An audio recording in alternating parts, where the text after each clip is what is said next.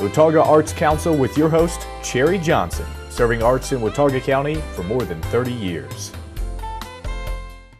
Hi, I'm Cherry Johnson with Watauga County Arts Council, and we've got something coming up very soon around the corner that you do not want to miss. We are having our second annual Spring into Summer Arts Fest, and it's going to be on June the 6th at the Blue Ridge Art Space in our parking lot. Uh, you can park across the street. Our dear friend across the road from us has said we can send our cars over there because we want to devote this, the space where we are, our parking lot, to lots and lots of cool arts activities, lots of booths, lots of excitement. And I have with me Dottie Baker. Dottie is a, uh, well, you're a representative of the Potters of the Blue Ridge. Mm-hmm. And this is an organization. Tell us about this organization. Potters of the Blue, Ridge started about a year ago. Um, and over that year has congealed into mm-hmm. a great working group. And our inaugural show is going to be at Arts Fest. Yeah. So you're partnering with us to offer this exhibit. Right. And they've been a terrific partner. They've helped us with posters and passing the word out and so forth and soliciting a lot of booths uh, mm-hmm. to come in. So we've mm-hmm. got quite a few potters that will have booths. I think the organization itself has some space that you're doing as well. Yes. And then uh, the uh, um, Blue Ridge Fiber Guild. That's the name. I want to make sure I got that right. Uh, they also will have a booth. There's some fiber artists as well. Uh, they're not taking as big of a role, but you know they are ha- kind of setting up an area. Mm-hmm. There'll be an area for children's activities where your kids can do some art of some sort or other uh, and enjoy that. There'll also be different types of artists. I know we've got jewelry artists and just a big variety of things going on during that time. Perhaps some storytelling. And from our front porch, we're going to have music going all day long. So this is Saturday, June the 6th. It actually starts at 10 and goes till 4. The music starts at 11 and goes till 4. And we'll also have a silent auction. Uh, each of the artists that have a booth is giving a piece to the silent auction to benefit the Arts Council, and you'll have a chance to get one of their works of art uh, in a different way from just going to their booth and purchasing it. So you'll have both options out there for you. So it's going to be a fun day. I'm really excited about it. You, as an artist, you've been, how long have you been doing uh, clay work, pottery? 46 years. Wow, that's a long time. It's been a great life. And so you've had dirty fingers, fingernails for a long time. And, and short, short fingernails. Your pianists and potters, they always have short right. fingernails. right. Okay, now this is examples of your work uh, that you're currently doing. I'm sure it's evolved mm-hmm. over the years. You know, you once taught pottery too, so I know you've yes. seen how that process worked where people sort of settle into a style that they like. And mm-hmm, you and I were mm-hmm. talking earlier about you if you get used to looking at pottery, you sort of know which artist you're looking at by the pieces, you know, that mm-hmm, they have a certain style. Tell us about your style. Why, how would you categorize your style? I try in my work to allow the clay to do some of what it wants to do. Mm-hmm. I'm not a person who wants to control everything about the clay. Clay is a beautiful medium, and I like allowing it to do mm-hmm. what it will do. So the techniques that I use are I use because the clay will turn out to be not perfect. I don't want perfection. Uh-huh, uh-huh. I like imperfection in my work. There's beauty in imperfection. Absolutely. Uh-huh. You know, it's interesting that you say that. I work, you know, I interview a lot of artists. I talk to a lot of artists all the time, in all different mediums. You know, writers, painters, all sorts of people, and they all say the same thing you just said: is your the medium has its own thing it wants to be, mm-hmm. and you kind of the role of the artist is not to control it, but to help it. You know, there's a famous story in the clay world. Um, uh, a living national treasure in Japan said that the only people who could make great tea bowls are people who are either rank beginners or masters. And that's because rank beginners don't yet have all the control they want, uh-huh. and masters know when to apply control and when to not have control. Interesting, interesting. Yeah. You know, I hear uh, uh, we have a guy that, with the art space that makes sculpture out of rocks and he'll tell me this rock needs to be, you know, I see this rock and it needs to be this, you know. Mm-hmm, mm-hmm. And it's not that he says, I'm going to find a rock shape just like this so I can put it on this sculpture to be this thing, you know. Right, right. And so you're kind of doing the same thing. You're saying this needs to be. Do you do that with like like the pitcher, for example? I mean, pitcher versus bowl versus cup. Uh, typically, I start out with an historic precedent. Uh-huh. The historic precedent for the pitcher is a combination of things. It's partly medieval English uh, jug, Mm-hmm. partly Italian uh, medieval. I like Right. medieval. um, partly uh, Italian uh, medieval spout and um, very gestural, not precise uh, brushwork, which is Japanese uh, Uh-huh. medieval thing. Uh-huh. So I, I start out with a form idea, and always I try not to control that too much to allow the clay to have its say. So do you ever do? I've, I know several artists do like a dinnerware set or something like that, where everything more or less looks like it goes together. Do you do that? When I first started in clay 46 years ago, I said, I'm going to make a dinnerware set, and I haven't made a whole one yet. Because you just hadn't found those blobs of clay that wanted to be I've together. made all the parts, but I've never put it together. That's interesting. And I wonder if we had two or three potters sitting here, they would all have a different perspective, I'm sure, on that. Absolutely, sure. And so it's, it's unique to you as an individual, you know, how you do your uh, approach your work and do that. But I do think as a whole, artists are very open to the medium, you know, and It's best to be that Mm-hmm. way. Otherwise, you're going to be sadly disappointed. now, is it form? Is it um, glazes? What is it that's the most exciting part of the of the clay process for you? For me, actually working in the wet clay and doing the forming of the object is Uh-huh. the part I love best. Um, I make my own glazes, and some of the glazes here I've actually formulated myself.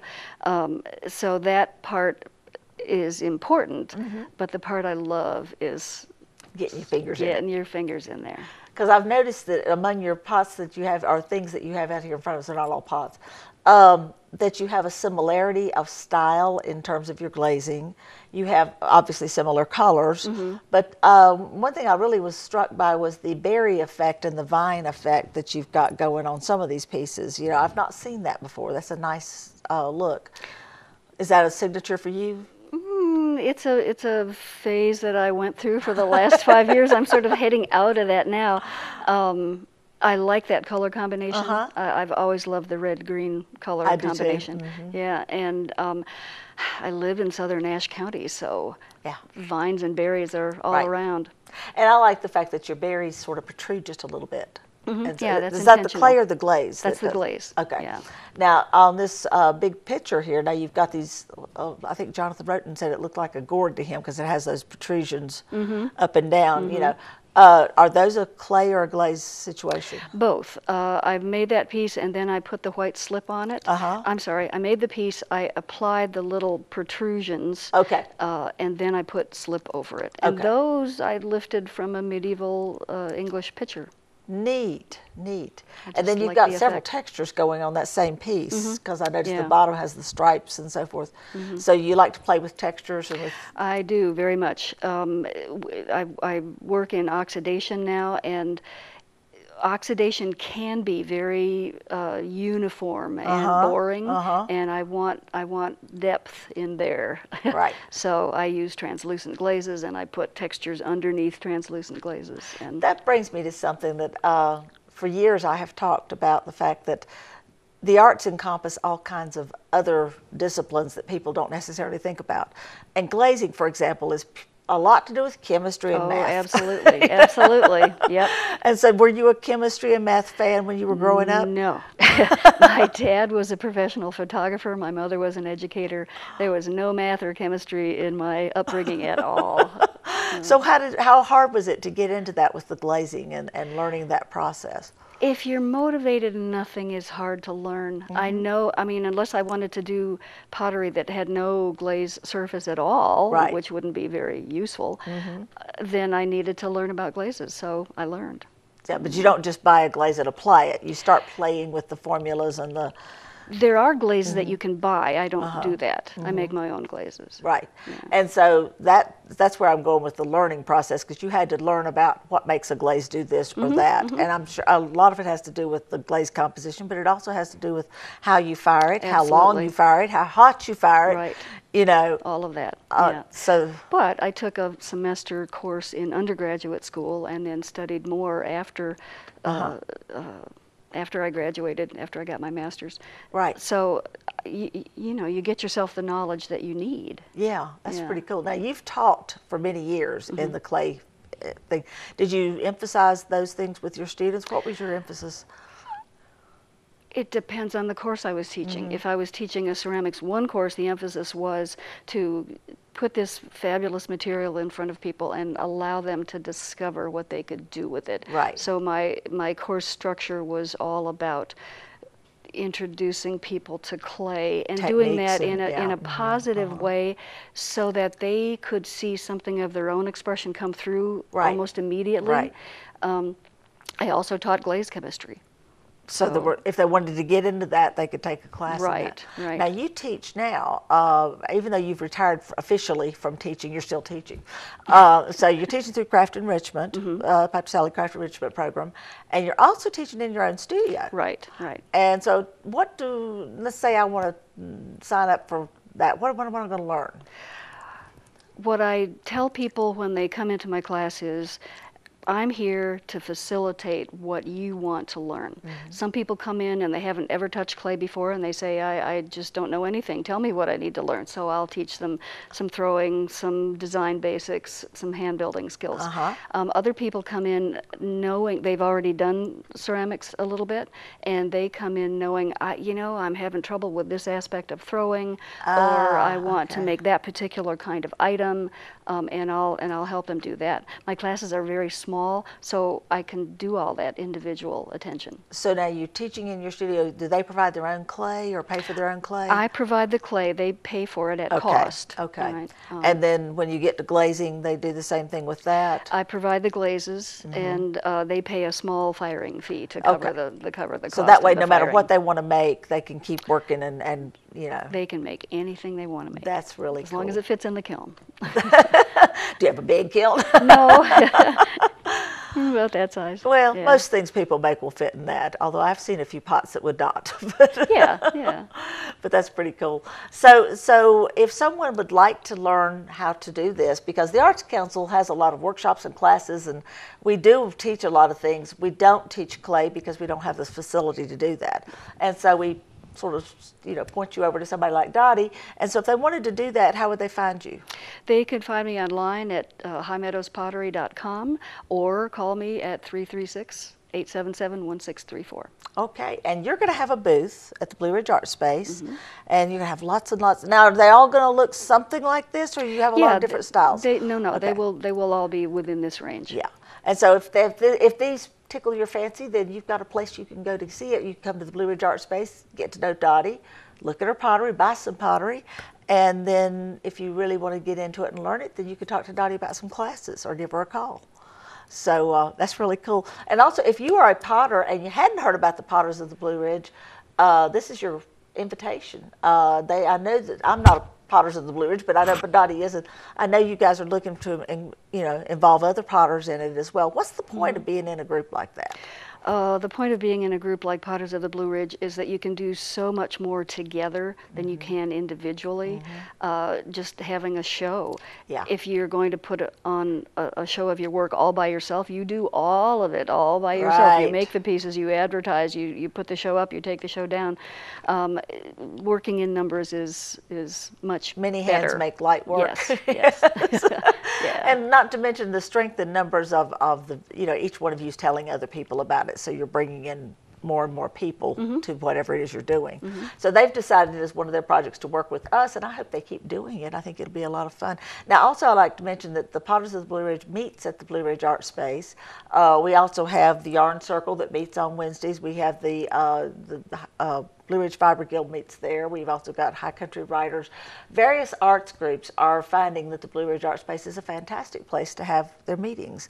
And that's part of our mission is to be a place for the artists to gather and to, to collaborate and to learn from each other and you know build relationships and, and work together in various ways. It's been great for us. It's it's centrally located so Mm-hmm. that none of us have to travel hours to get to.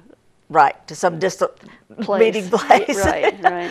and so, if you're uh, part of an arts organization, we're inviting you to uh, check out with us and see if there's a possibility of you meeting at our space. We've also had theater groups that have done auditions there. So, you know, it's a big variety of things that can happen in that space. It's a pretty flexible space, and we, we really enjoy having our artist friends with us. So It's been great. it makes it so much fun, you know. So uh, we are hoping you're getting involved. And do you know where the Blue Ridge Art Space is? If you don't, well, it's really kind of simple. You're at the corner of Shadowline and State Farm Road. Now, if you're not familiar with that intersection, you turn at Five Guys, go Shadowline beyond uh, Bryan Estates, beyond the old Shadowline plant, and then right before you get to the red light at State Farm Road, there we are on your left, and you know you got the right building because there's little blue people on the front porch. So uh, check us out. Come and get involved. We we're open Tuesday through Saturday. We've got all kinds of really cool stuff. We've got a gift shop. You're gonna have to get in the gift shop. Um, we've got artists that have their work available through the gift shop, uh, about 70 local artists that have their work in there. We have regular gallery exhibits and we have lots of workshops and classes and things you can get involved in. It's a community arts center and it's a place where the community needs to come. So make sure you come by and check us out. Uh, check our website also, watauga-arts.org, for information about all of this and much more. Watauga Arts Council with your host, Cherry Johnson, serving arts in Watauga County for more than 30 years.